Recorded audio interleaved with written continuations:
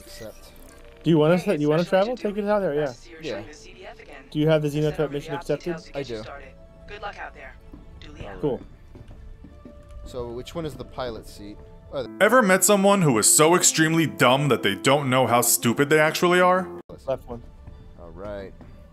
So now you're gonna see me uh, crash Longshot's multi-million dollar ship. Yeah, he's right, you know.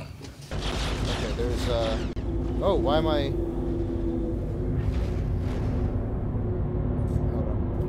Ah! I hit him.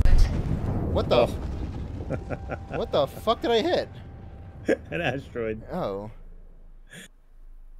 Well, Yeah, they they exist. okay. All right. Well, Jackson's no longer flying. You're goddamn right.